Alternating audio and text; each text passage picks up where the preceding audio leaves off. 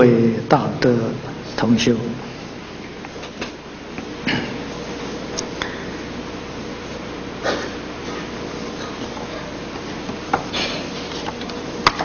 这个光阴呢过得很快啊！呃，昨天我们讲正中分呢。报告。那么今天开始要向大家报告本经的流通分。那么偶一大师的判教，也就是我们现代人讲的这一部经这个分段。古人呢叫做判教，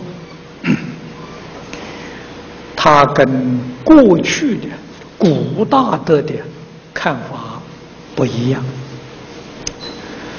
呃，虽然在原则上呢，每一部经都有序分、正宗分、流通分这个三分，但是这个三分经文从哪一段起？到哪一段止，几乎每一位大德的看法都不一样。那么偶一大师他的看法呢，尤其是特殊啊。那么在注解里面，他都叙说了啊，他为什么从六方佛这个地方啊，就把它分作。本经的流通分啊，他说了说出很详细的呃道理。我们细细去观察呢，他所说的也确确实实是有理由。那么这个是基于对于《弥陀经》的认识啊，对于《弥陀经》的看法。从整个这个要解，就这个注解来观察，我们想到印光法师的话是非常正确。印祖讲，即使是古佛再来给《弥陀经》做一个注解，也不能超过其上。啊换一句话说，不能超过这个要紧。说古佛再来都不能超过，那么由此可知，这个要解确确实实就是阿弥陀佛的意思啊，就是释迦牟尼佛的意思，决定不错。这是说明他对于本经的认识与理解是十分的透彻，所以分的段落呢，跟古人不一样。在我们这个本子里面是第九十七面。到一百一十页面啊，因为流通分呢分为两个大段啊，第一个大段是祝福劝信流通。大师在这个注解里面序分里面呢，我们看到信愿行三分，正宗分里面呢也是这三分。流通分呢，也不例外，也是信愿行三分。啊，这个通常讲净土三资粮啊，可以讲《弥陀经》里面呢是分分具足，啊，这非常之难得。经文从舍利弗如我今者，这个我是释迦牟尼佛自称，赞叹阿弥陀佛不可思议功德之力，一直到汝等皆当信受我语及诸佛所说，啊，这个一大段。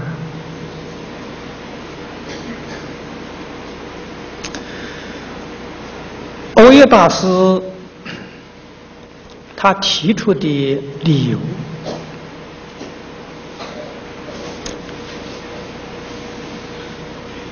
首先呢，为我们解释“流通”两个字的定义。流是流传万古，通啊。是通达十方，每一部经到最后都有这一份。我们学佛的同学要特别留意，我们学佛目的是要脱离。生死轮回是要求生极乐世界。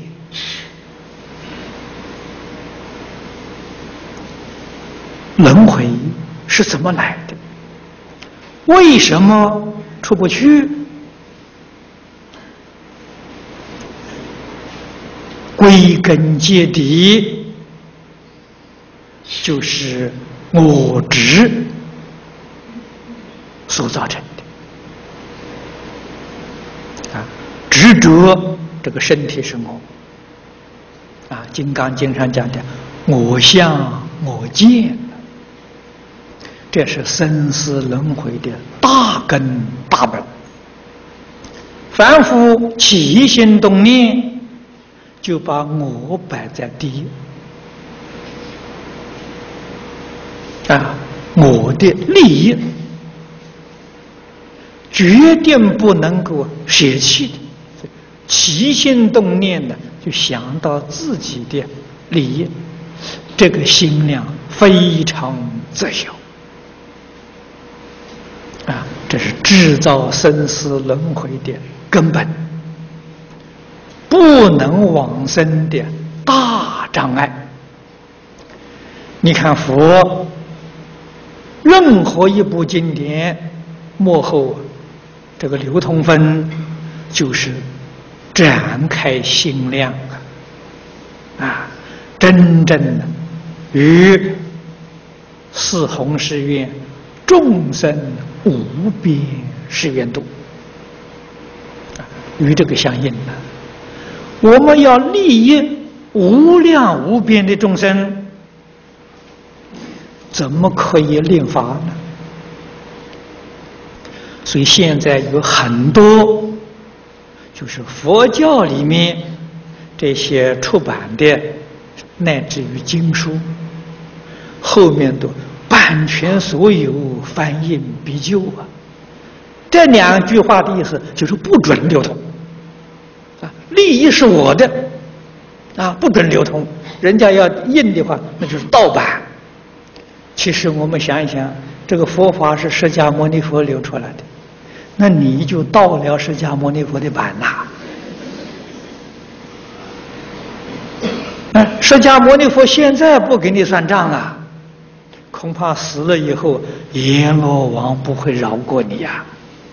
啊，你的证据十足啊，都印在后头，版权所有，翻印必究啊，那就是阎罗王将来判罪的证据。怎么赖都赖不掉，这个事情麻烦大，啊，所以我们一定要晓得，这个流通的意思是要把这个大法，啊，佛是要普度一切众生，啊，所以是应当啊，我们有使命、有责任，把它流通万古，啊，通达十方。那么这样的。大法可以说是一切诸佛如来所宣扬的第一法门。谁有资格？谁有能力来担任流通的责任？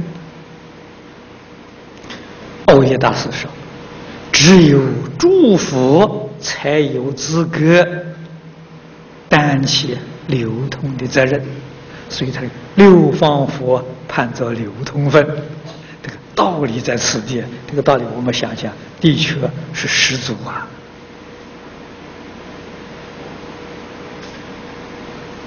因为这部经所说的，确确实实是事实的真相啊！阿弥陀佛，西方极乐世界的事实真相！世尊这亲眼看到佛度众生。众生往生，无量无边，第一殊胜的利益了。所以他说：“我见是利益啊！”他见到这个利益了，无问自述，没人提请啊！佛主动为我们认说，世尊如是。想必十方一切诸佛如来呀，也跟释迦牟尼佛一样啊。所以这个流通啊，那就是为佛与佛，才能够就近诸法实相，共同担负起流通的使命，因为。这个经典上，啊，说这部经呢，也可以说就是净土啊，三经。三经所说的境界，都是如来果地上的境界。若不是诸佛如来，没有办法了。讲得透彻，讲得明了，所以欧耶大师认为呀，只有佛才能够肩负起这个流通的使命。经文一开端，为我们说出。不可思议功德之力，不可思议大师为我们列举五段啊，就是列举五种不思议。这五种实实在在难得。不学佛不知其难，不修行不知其难。真正学佛修行的，才晓得这个事情之难。啊！但是在净宗里面呢，是一条一条啊，都把它解决了。第一个是横超三界，不要断乎。啊，这个这个不容易啊。八万四千法门，无量法门。如果不断见思烦恼，决定不能出三界。啊，无论你修学哪个法门，啊，你修禅也好，你修密也好，啊，无论修学哪一个法门，见思烦恼不断，不能超越。六道轮回，可是净宗这个法门不需要，一品烦恼不断了，也能够待业往生。这是不可思议功德之力。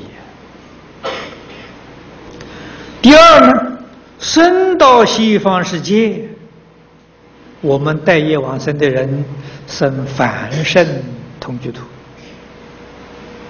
啊，这经上跟我们说的很明白。虽然生凡圣同居土，就可以见佛，就可以与观音、世智、文殊、普贤这些大菩萨把手同行呐。这个意思就说明，这些大菩萨了，他们住的是十报庄严土、长吉光净土。说明一桩什么事情呢？四土在一起，不想他方诸佛世界，四土不在一起。啊，我们现在居住的这个地方是释迦牟尼佛的凡圣同居土，娑婆世界也有方便有余土，我们见不到。也有十报庄严图，我们更见不到。啊，西方世界是一生一切生的，啊，四土混在一起，所以那个地方修行，不是像我们这个地方渐进的，啊。像读书一样啊，一年级、二年级、三年级、四年级，慢慢的这个往前进啊，这个难呐，费的时间长啊，啊，西方世界是顿超啊，这一下子超过，所以它的时间短，成就快速啊，这是第二不可思议。第三呢，是方法非常简单，《无量寿经》教给我们：一向转念。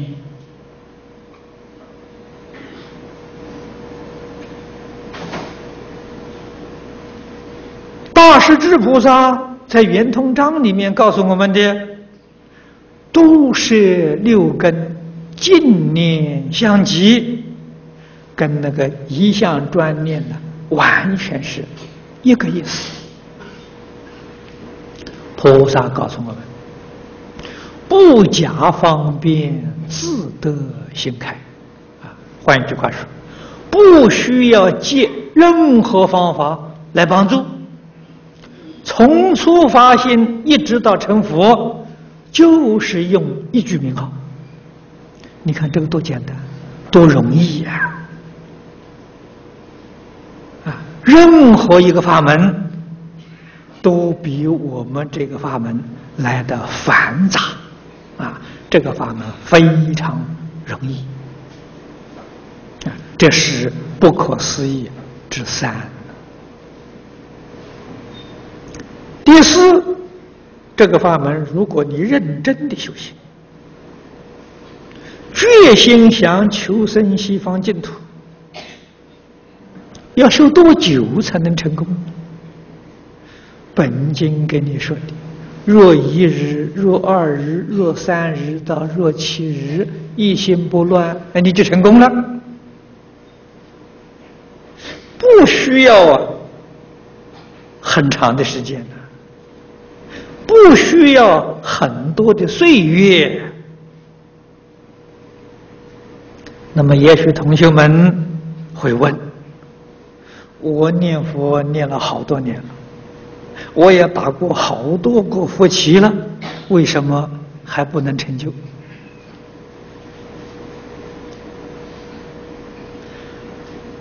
对经上这一段话了，就升起疑惑了。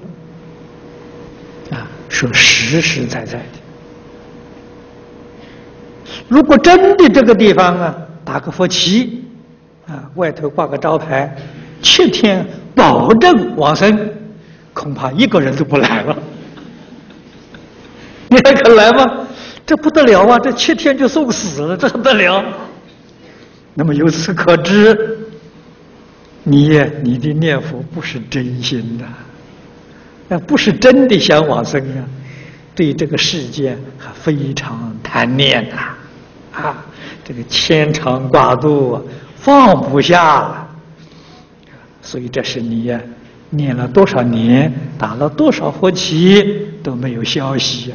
原因就在这个地方，啊，你不是真想往生，啊，是到佛七法会这里来玩玩而已的，啊，这么回事情，啊，果真啊发的真实心想求生净土呢，这个七天呢，这一个确实决定成功。我们在《净土圣贤录》在《往生传》里面看到，《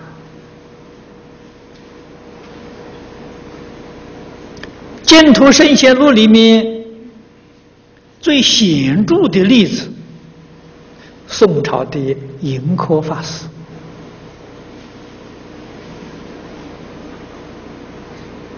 传记里面记载的这个法师。大概平常啊不守清规，啊破戒的一个出家人，好在呢他有善根，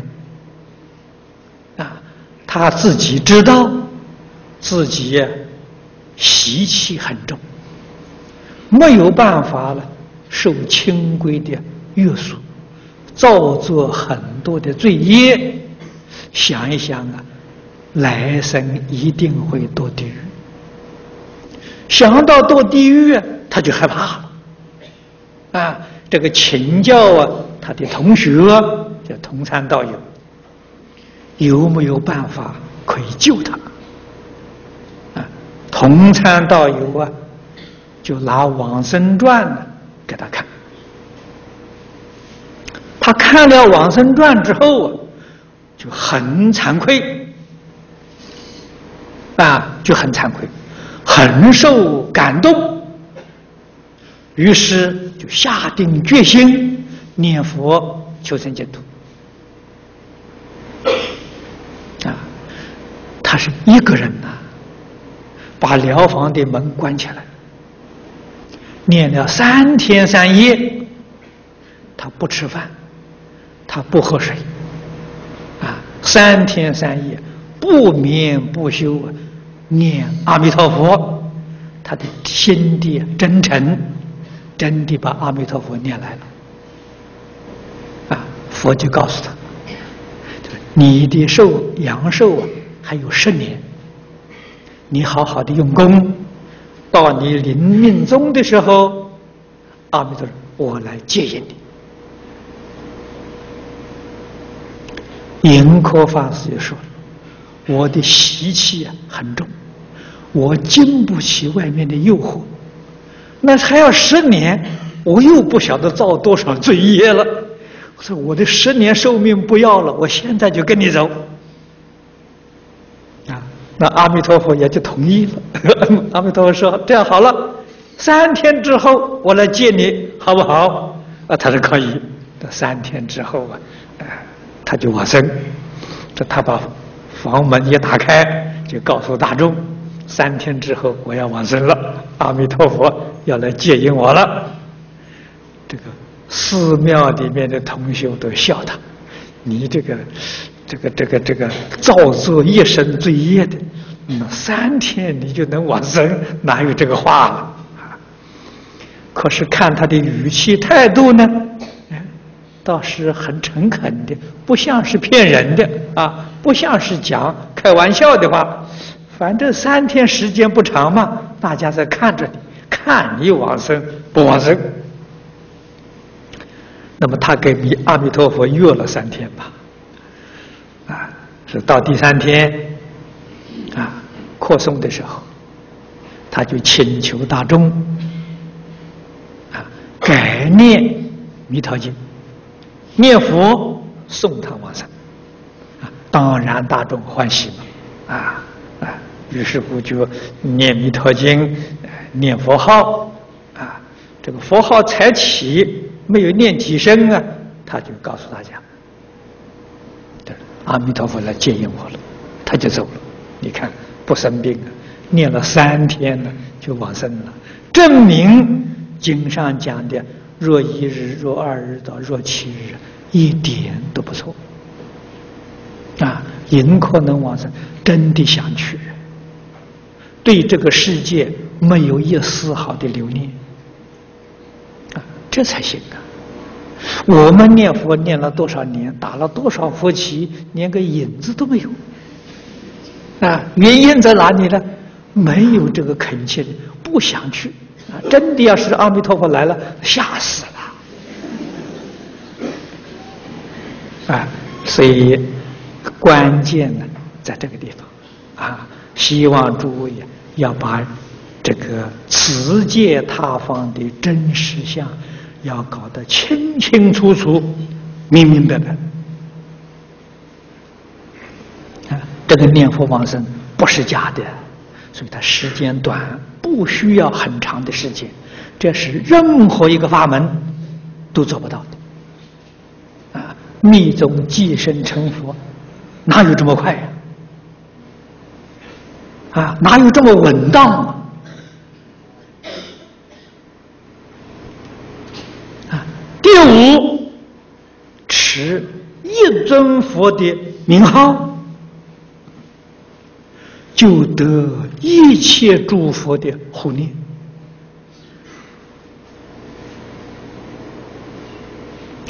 跟念一切诸佛的名号啊，无二无别，这个不可思议啊！这个我们现在快过年了，台湾过年，许多道场啊，寺院道场啊，都拜万佛。拜万佛要拜十几天呢，啊，一万两千尊佛号，啊，万佛明经，你十几天拜下来，才只拜一万两千尊佛啊，无量无边诸佛，你漏掉太多太多了，啊，可是诸位晓得，假如你要是拜一尊阿弥陀佛。所有一切诸佛，通通都拜了，不如专拜阿弥陀佛，那个功德不可思议啊！不可思议功德，这是我们一定要晓得的啊！但是这个世间人对他事实真相不明了啊，不知道拜阿弥陀佛功德利益之大，还去拜万佛。啊，拜万佛真的是挂一漏万了，遗漏掉太多太多了，啊，不圆满。啊，那么怎么晓得我们拜阿弥陀佛就是拜一切诸佛如来？这一段经文呢，就是说明，就是证据。啊，你细细看这段经文。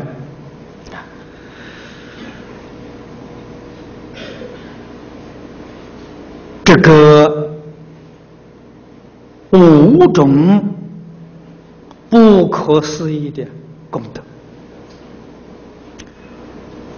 如果我们能够领会儒教修行，不但自己功德不可思议，他功德也不可思议。欧一大师告诉我们：啊，我们修学净土的人，以真诚的心，以清净心、恭敬心、慈悲心、信愿持名，就把阿弥陀佛无量劫所修的功德，变成我们自己的功德。啊，可是这个里头啊，大家一定要记住真诚心、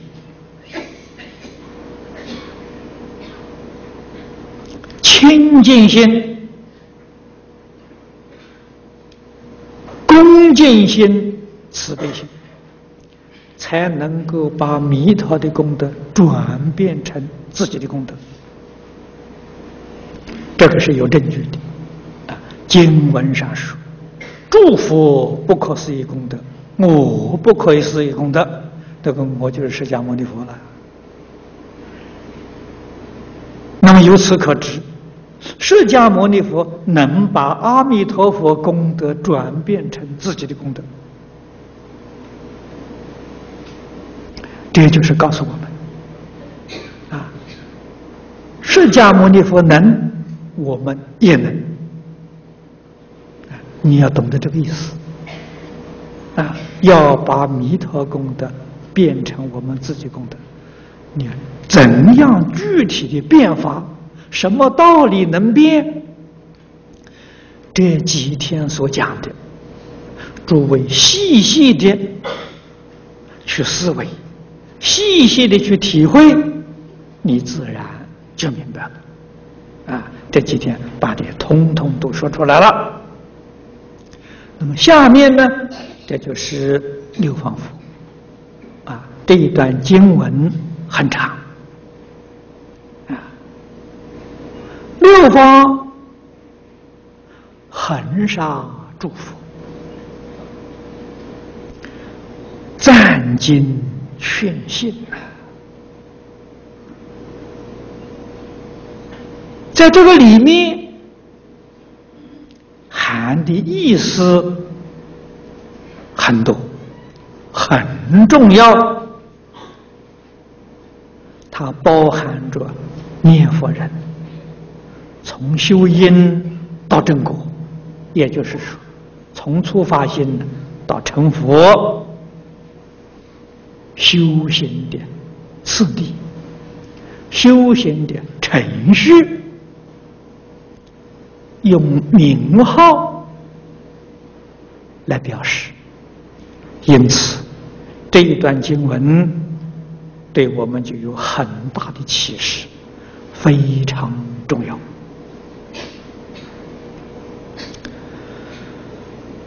我们先把六方呢总说，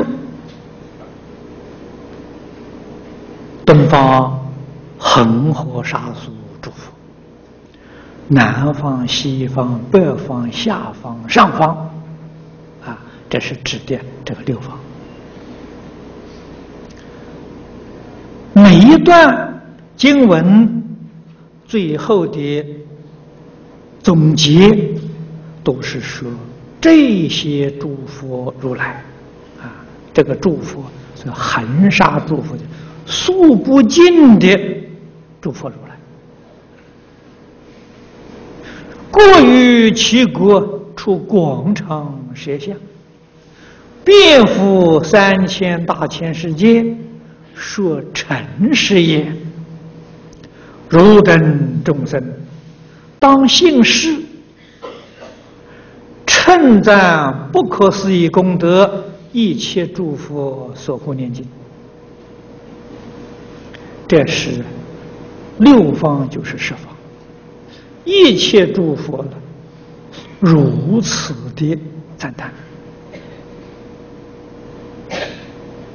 不仅是为释迦牟尼佛做证明，啊，释迦牟尼佛为我们宣说的一点都不错，同时显示出来，十方一切诸佛如来，没有一尊佛不讲阿弥陀经。的没有一尊佛不劝人念佛求生净土的，所以我们才真正明白了，这个法门是一切诸佛如来度众生成佛道的第一法门。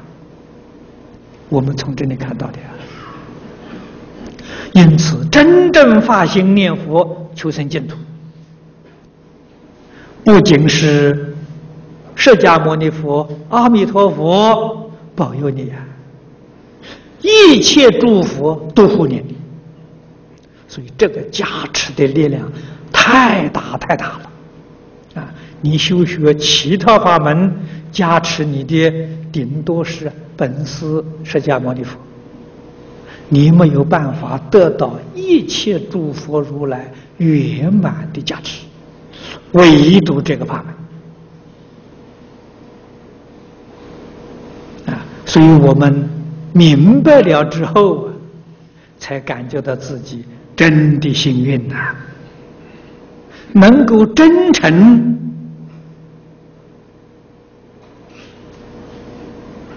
专心发愿的修学，你现前就得一切诸佛的护念，就得诸佛的加持。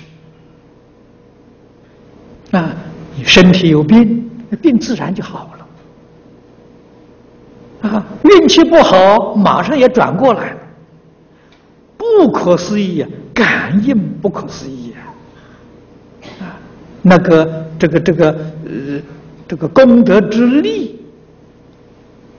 真的只有佛才有资格为我们宣说啊！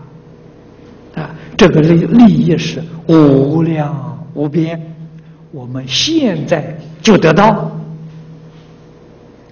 如果你要是不信，不肯儒教修行，那就是经上讲的，你善根福德因缘不足，太少了。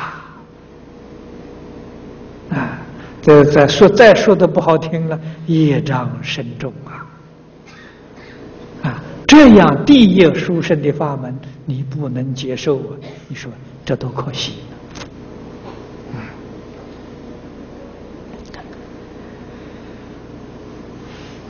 那么下面呢，我们一方一方来说明。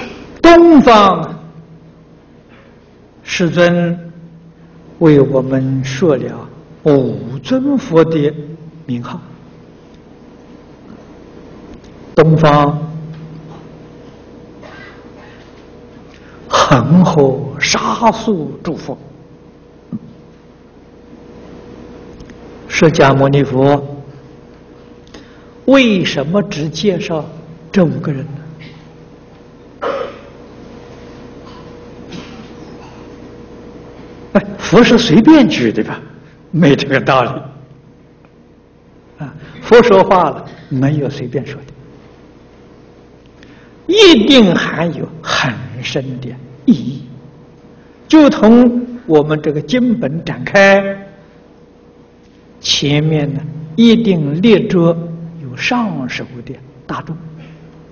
啊，像我们这部经前面一展开，我们看大众当中有舍利弗、目犍连，有十六个，呃，这是比丘。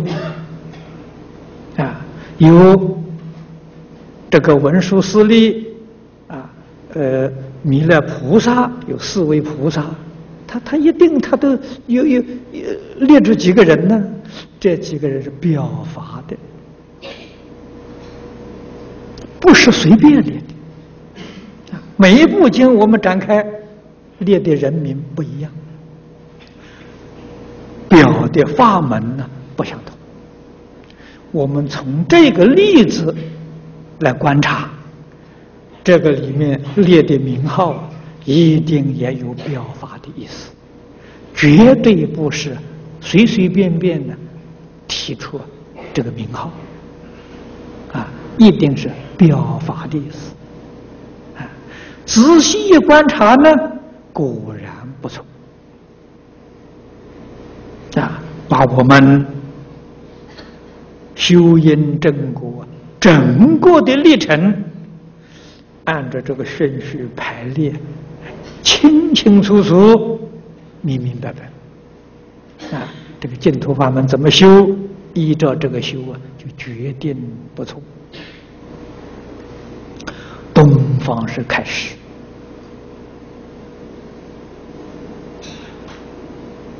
啊，在四方这是属于手啊。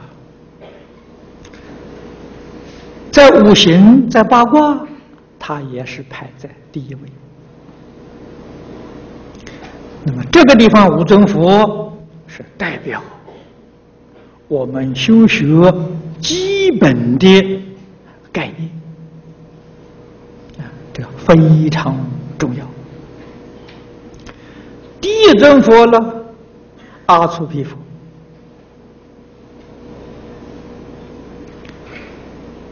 这个名号完全是梵文的音译。阿翻作无，粗笔翻作动，合起来呢就是，无动，无动就是不动的意思。啊，像阿弥陀，阿是无的意思，弥陀翻作量，啊，无量，啊，这是无动，不动啊，就是觉，佛是觉的意思。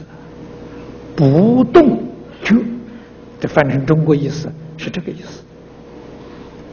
这是说明你想修净土，你从哪里开始呢？从这开始。我们今天修净土修不成功，就是我们没有这个基础。我们的心会动啊！你看呢？看到参禅的，要去想去参禅；来个什么仁波切呢，又想去灌顶。这个心就动嘛。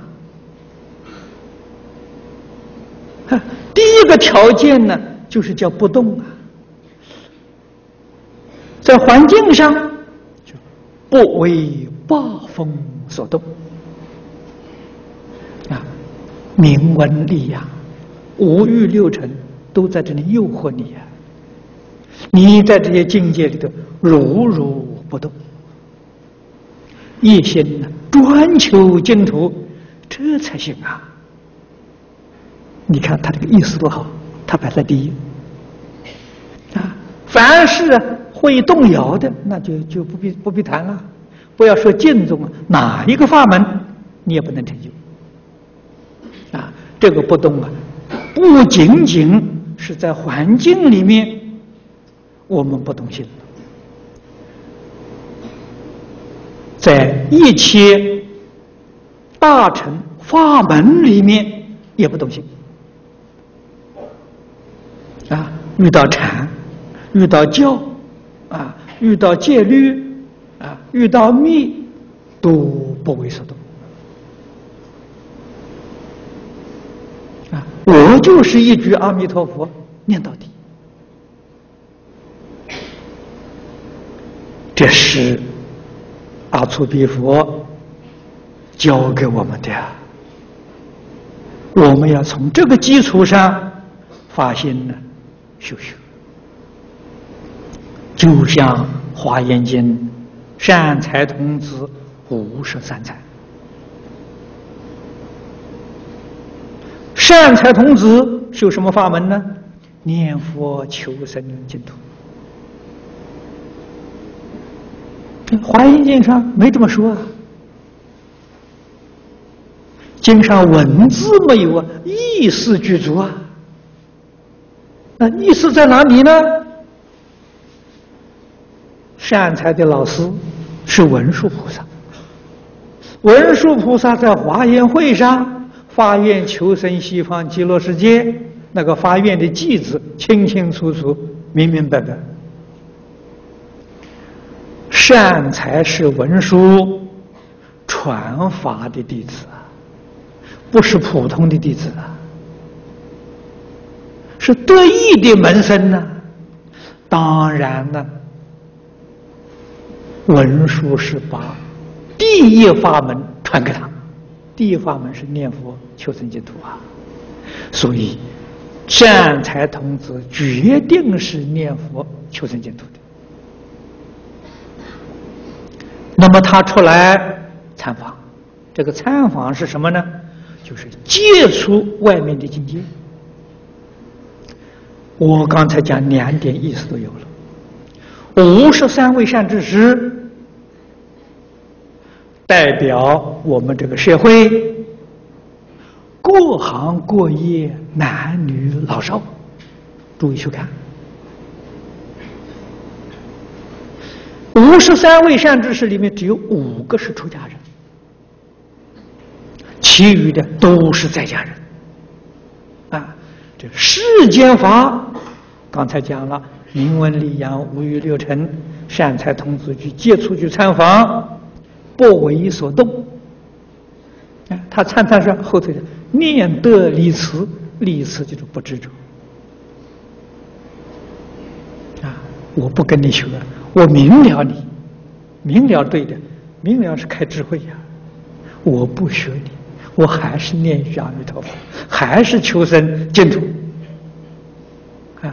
不着相啊！《金刚经》上讲的，不着法相，不着非法相。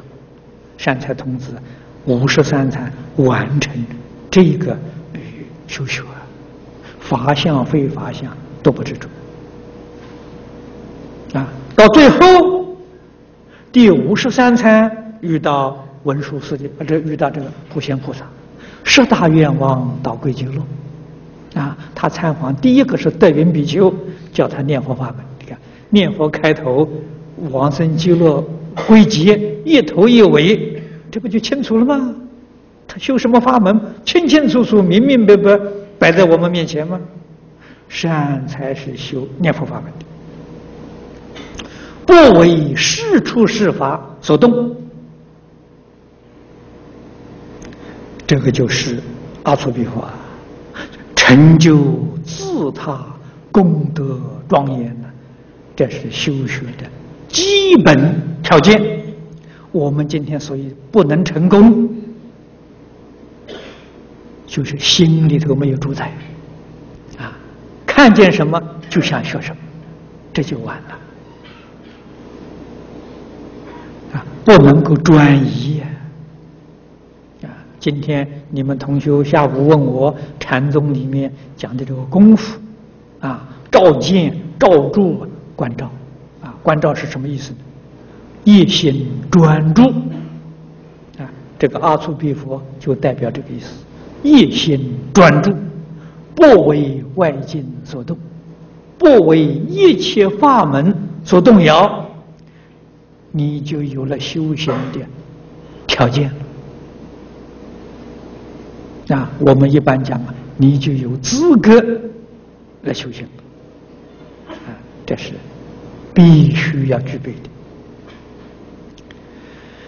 接下去这三尊佛：须弥相佛、大须弥佛、须弥光佛，这是我们修净土的目标。啊，我们修净土，希望得的是什么呢？成佛。啊，我们往生西方极乐世界没有别的，就是要成佛。这三尊佛就是代表佛的三身。须弥相，你看三尊佛都用须弥，体是一个，啊，体是一个。化身佛、报身佛、应化身佛，体都是真如啊本性自性佛，啊，一体三身呐，他表这个意思，啊，相相好光明，啊，佛的相好光明，九法界众生瞻仰啊，这是佛的报身啊。报身佛，佛有无量相，相有无量好啊！大须弥佛，这个“大”是赞叹的词，就像大方广啊那个“大”意思一样，赞叹真如本性，大法的本体，法界独尊呐，它是能变，设法界一真庄严是他所变的。这就是法身。啊，法身。佛，须弥光佛，光是光明遍照，普应神机，这个就是应化身佛，所以这三尊佛是代表法身、报身、应身，通通用须弥表一体，一体三身，这也是我们所求，这是我们希望证得的。我们到西方极乐世界，就为了这个事情。啊，不是为别的，就为这个事情，那就一点都不错了。你看，这个目标清清楚楚摆在我们面前，啊，我们要觉悟啊，要圆满的求。幕后一尊呢，妙音佛。这一尊佛呢，代表啊本宗修行的方法啊。这个方法是一心称念阿弥陀佛，南无阿弥陀佛就是妙音呐。净虚空变法界一切诸佛这个说法的音声呢，没有比这个更妙了，因为这一句音声呢，能够从。初发心一直帮助你成佛，这个音妙啊，哪有比这个更妙的呢？啊，所以这妙音是什么？南无阿弥陀佛，这是妙音呐！名号功德不可思议，前面说过，这个地方不不必再重复了。啊这是东方五尊佛所含的意思，我们要明了啊！他对我们的修行，你看多么的密切。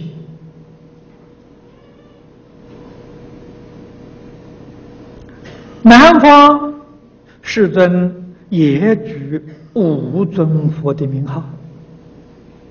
啊表什么呢？表修慧。所以大家千万要明白，有很多人认为这个净土宗啊，跟其他的宗相比呀，差得太远了。啊，不讲求里头没有般若智慧呀，啊，顶多啊有一点小定不得了了，因为经上讲一心不乱嘛。啊，一心不乱嘛，总是有点小定嘛，所以有很多人瞧不起那种老太婆教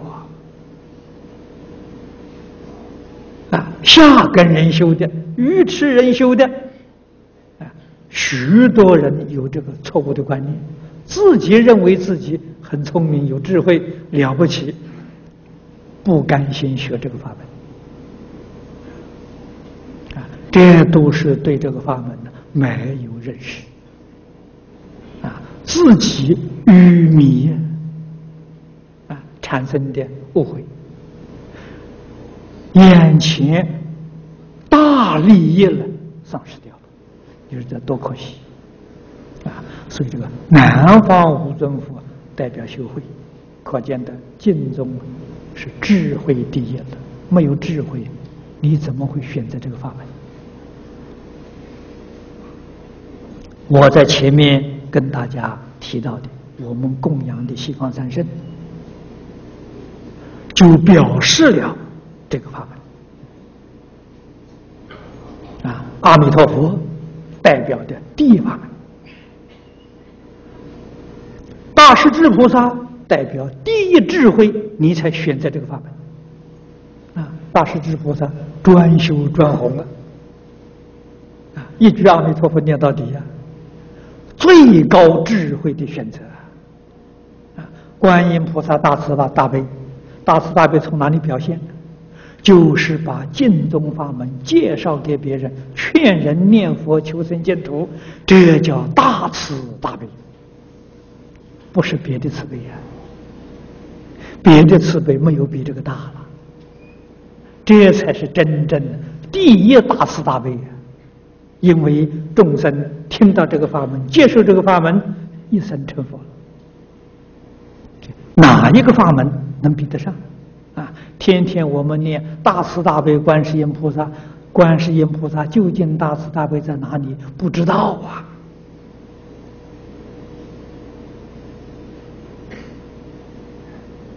啊，所以我真是常常感叹，诸很多人学佛了，学的是糊涂佛啊。问他是佛是什么，不晓得。啊，是糊里糊涂学佛啊！啊，糊里糊涂学佛，绝对不会糊里糊涂成佛，没了害自己。啊，这个要知道的。